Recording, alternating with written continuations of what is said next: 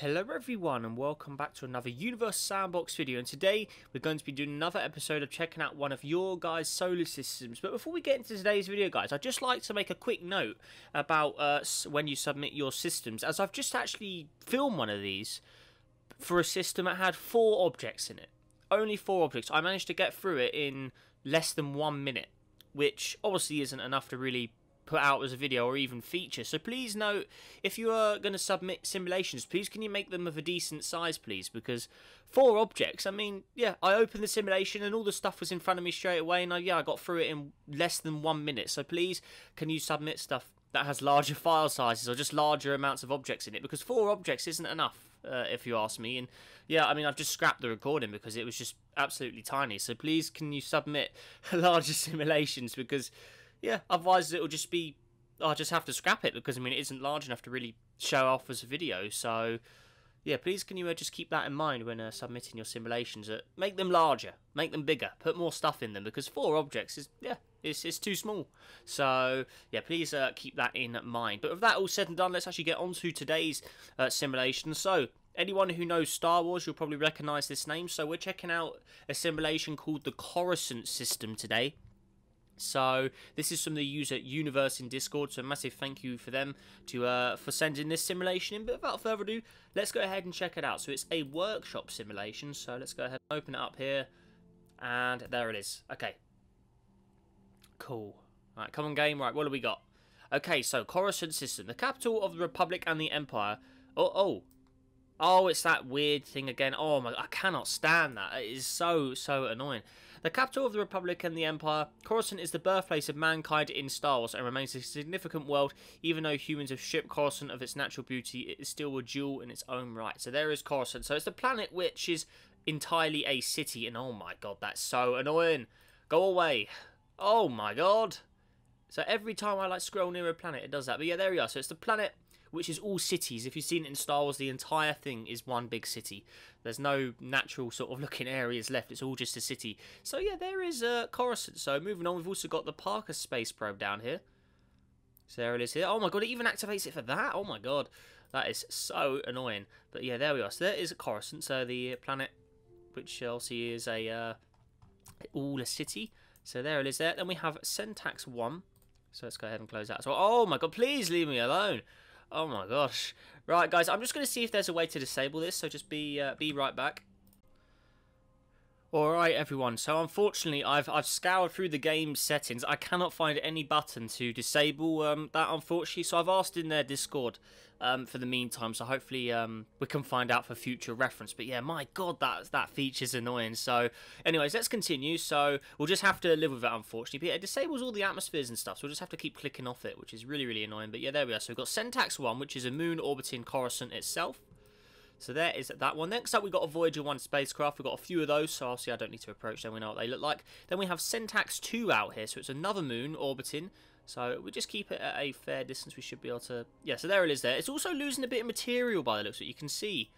Um, yeah, there's definitely material being lost. I think if we click play... Yeah, there's definitely material being shot out from it. So, yeah, interesting stuff indeed. Okay. But let's just go ahead and pause it again. So, yeah, there's Centax 2. So that's the second of the moons around Coruscant. Right, then moving further out, we've got Centax 3 out here, which is another another moon. It's looking uh, it's looking pretty nice, this one. So actually, we can look underneath it. We can actually use that feature and actually, yeah, so we can actually preview underneath. So you can see it's mostly ocean. Got a few bits of land as well. Obviously, zoom out again, all the atmosphere goes away. And it also has a Tesla Roadster orbiting it. okay, so there's that one. And then next up, we've got Hesperidium over here, which is another cool looking model. That's actually a Titan surface underneath as well. It looks quite good with the blue atmosphere actually. So there it is there. Also got some city lights in orbit as well. Cool. So here's Hesper. I think that's Hesperidium. So there we are. Moving out though. Okay, so we've done all the Coruscant planets. Let's actually go to the star itself. So Coruscant Prime, the star in the very centre of everything. So there is that. And it also has a second planet orbiting it as well. Revice or Revis over here. So that's obviously um, getting pretty scorched up by the star there. Then we got uh, Platorul, Plato, Platorul over here. So that's the closest planet to the star. Obviously very, very dead here, 44 degrees. So it's uh, not the coldest or warmest of all planets, but it's got a, obviously a warm enough temperature there to keep water really a bit warm. So there we are. Then we've got Vandor 1 over here. So next planet out, we've got more of a green planet. Obviously, no, uh, no really unique features out. So It's just a rock in orbit of a star. There's no atmospheres or anything like that. Then we've got Vandor 2 over here. So another, another just all rocky planet. Oh my god, that green. What activates that green background anyway? I mean, why does it go so green? That is that is really weird.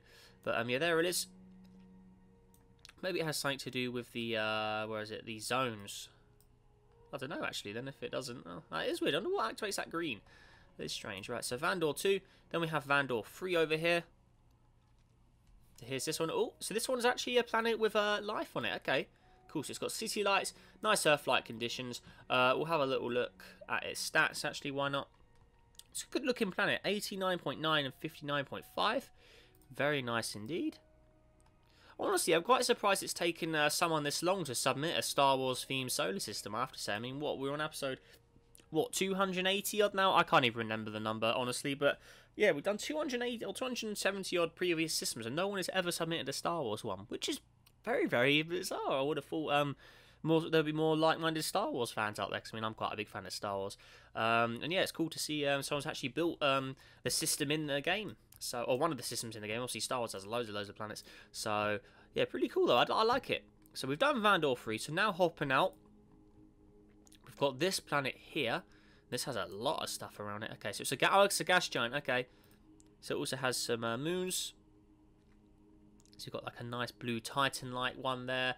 Uh, the next moon over here. Well, mean, we'll hop onto them if they've got any unique features. So uh, we'll have a look at them all up in the menu up here, though. So there they all are. So it looks like they're mostly generic spawns. I mean, it doesn't look like there's any... Uh, they're not all customized. This one's got some customization, no? So you can see it's an all uh, cloudy up world there, looking good. And then we have uh, another planet out here. That's got water but no atmosphere, so that's quite a weird one. And then the rest of these are all got pretty inclined orbits, as we can see. So they're not even named, so yeah, they're just all, all asteroids, really. So, looking good. Very nice indeed. All right, next up we've got uh, Stentat over here. So another, um, yeah, another uh, gas giant world here, as we can see. Also got some moons around it, obviously all generic ones. Uh, there is a more interesting object over here though, so it's another uh, Earth-like world. No atmosphere on it though, so it is losing that material. But yeah, there it is. So that's uh, Lepide.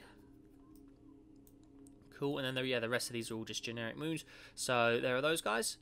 Crescent Prime Ring Particle. I wonder what that's doing down there. Oh, that's part of the asteroid belt thing, actually, never mind. And then we've got Improco over here.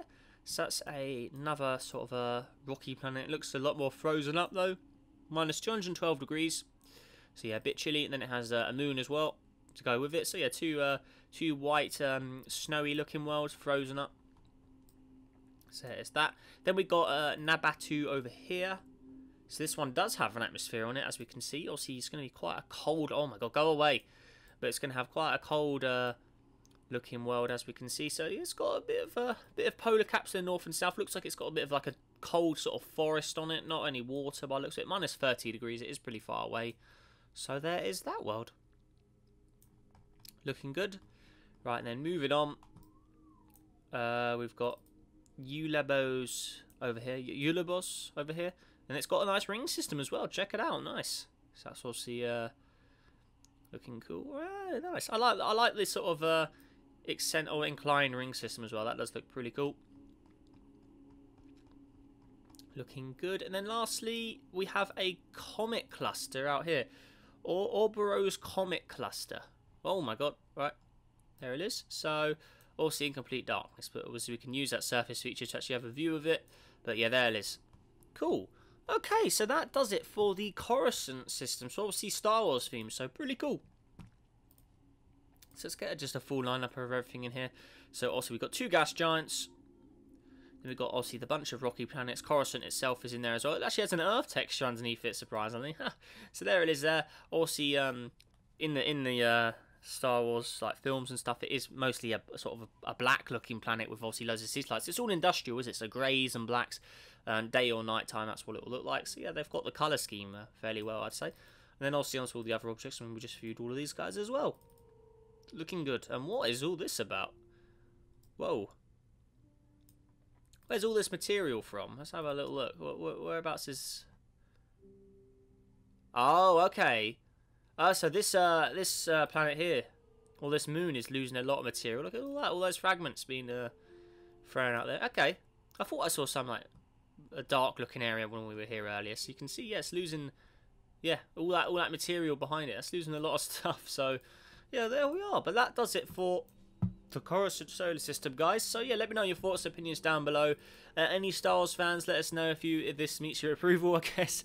And yeah, Coruscant Prime. So yeah, that is um, yeah pretty cool. I enjoyed it. So yeah, massive thank you to the user who submitted this. That was the user Universe in Discord. So massive thank you again. And yeah, guys, if you'd like to submit your own systems, please make sure to put them so they have at least a good 10 planets in them because, yeah, the, the one I just filmed before this, which I've just scrapped, it had four objects, which is just way too small. So yeah, please submit larger stuff so we can actually have a good amount of time actually checking it all out. Otherwise, it's not really much point um, at all. So yeah, please keep that in mind. And also, if you'd like to submit, join my Discord server, link in the description where you can uh, upload your systems there. But with that all said and done, guys, make sure you have a great day, stay safe out there, and I'll see you in the next video. Goodbye.